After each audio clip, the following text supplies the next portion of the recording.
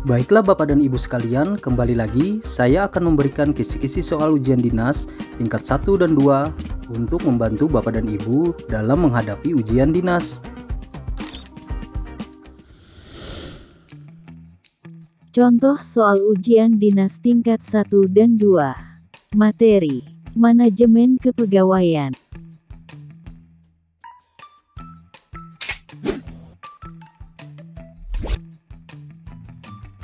1.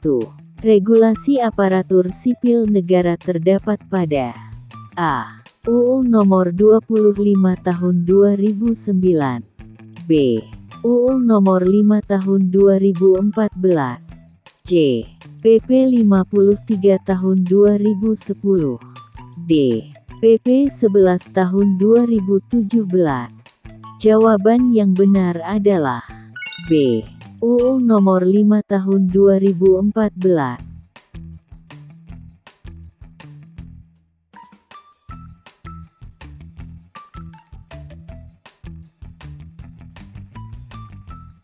Dua. Regulasi manajemen PNS terdapat pada A. UU Nomor 25 Tahun 2009 B. UU Nomor 5 Tahun 2014 C. PP 53 tahun 2010 D. PP 11 tahun 2017 Jawaban yang benar adalah D. PP 11 tahun 2017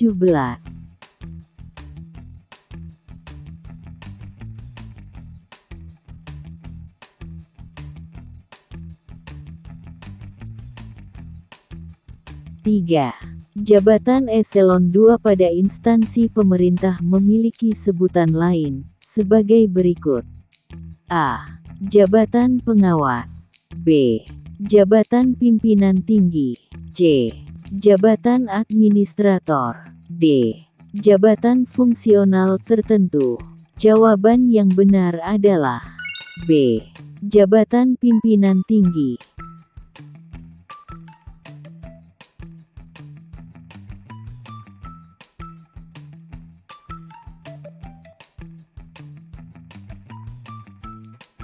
4. Kebijakan dan manajemen ASN yang berdasarkan pada kualifikasi, kompetensi dan kinerja secara adil dan wajar dengan tanpa membedakan latar belakang politik, ras, warna kulit, agama, asal-usul, jenis kelamin, status pernikahan, umur atau kondisi kecacatan, disebut sebagai A. Uji kompetensi B.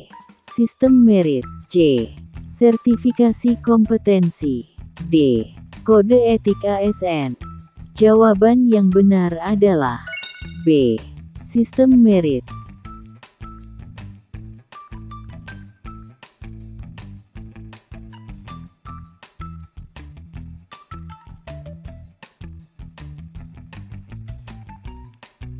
Lima. Lembaga pemerintah non-kementerian yang diberi kewenangan melakukan pengkajian dan pendidikan dan pelatihan ASN sebagaimana diatur dalam undang-undang, adalah A. Lembaga Administrasi Negara B. Badan Kepegawaian Negara C. Komisi Pemberantasan Korupsi D. Lembaga Sertifikasi Kompetensi Jawaban yang benar adalah A. Lembaga Administrasi Negara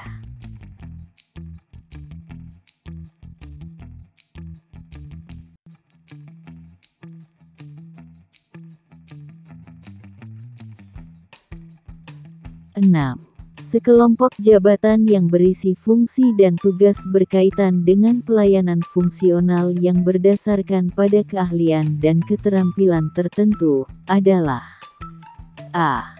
JP, B, JPT, C, JA, D, JFT. Jawaban yang benar adalah D, JFT.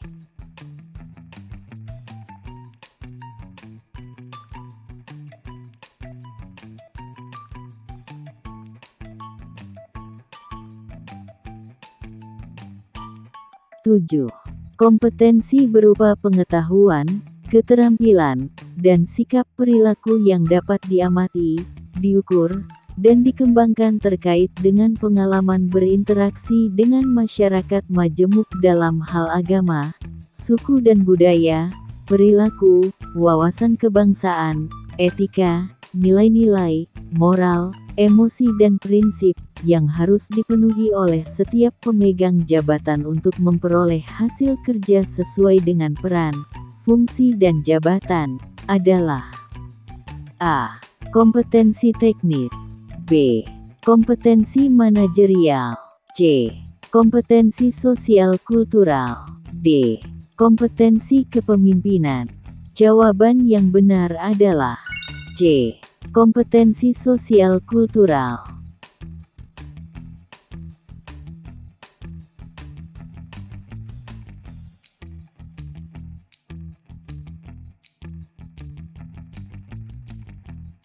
Delapan.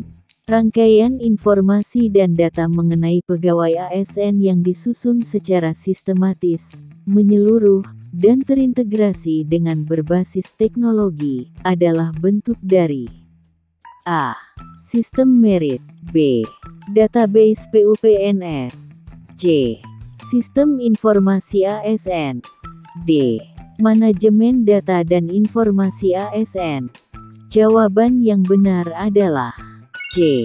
Sistem informasi ASN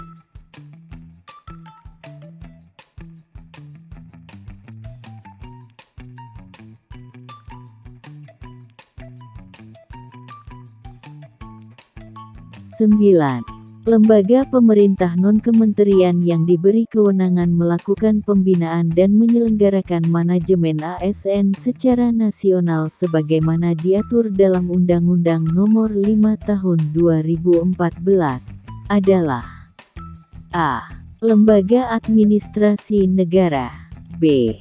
Badan Kepegawaian Negara C. Komisi Pemberantasan Korupsi D. Lembaga Sertifikasi Kompetensi. Jawaban yang benar adalah B. Badan Kepegawaian Negara.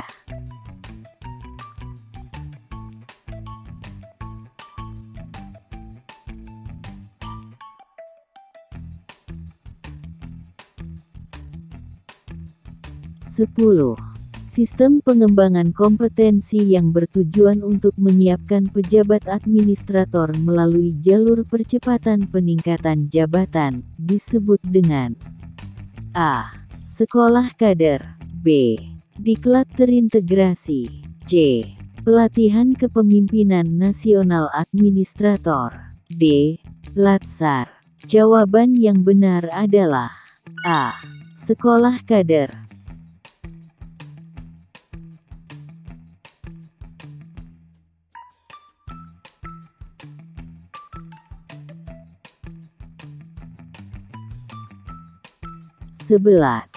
bahwa terdapat tiga kompetensi yang ditetapkan dalam Undang-Undang ASN, sebutkan yang bukan termasuk kompetensi tersebut.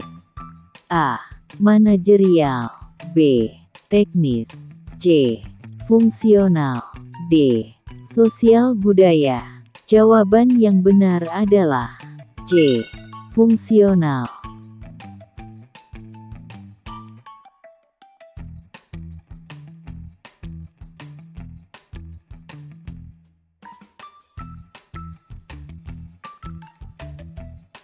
12.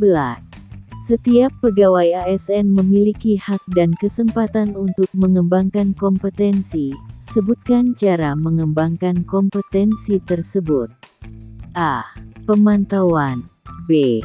Perjalanan dinas C. Koordinasi D. Seminar Jawaban yang benar adalah D. Seminar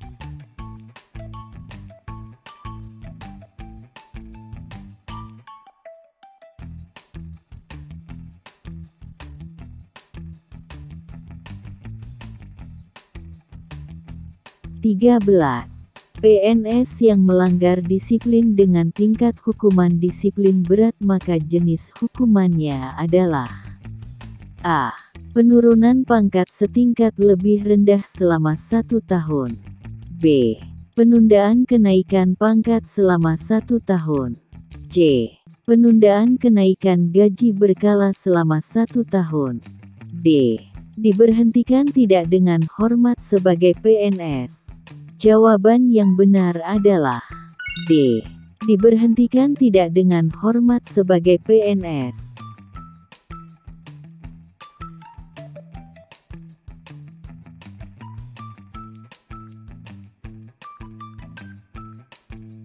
Empat belas. Jabatan Administrasi Pengawas dalam Undang-Undang ASN dalam Undang-Undang Pokok Kepegawaian setara atau setingkat dengan jabatan A. Jabatan Eselon 4 B. Jabatan Fungsional Ahli Muda C. Jabatan Eselon 3 D. Jabatan Eselon 2 Jawaban yang benar adalah A.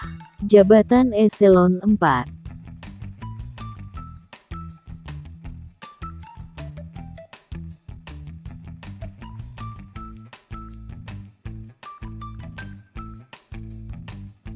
15.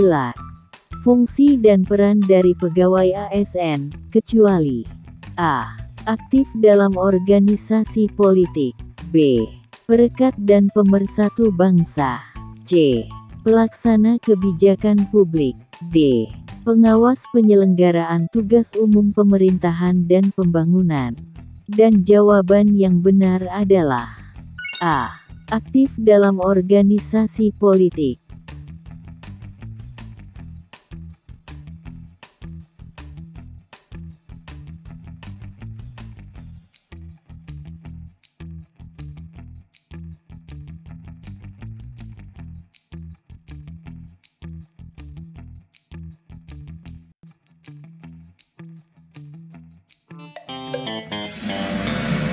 嗯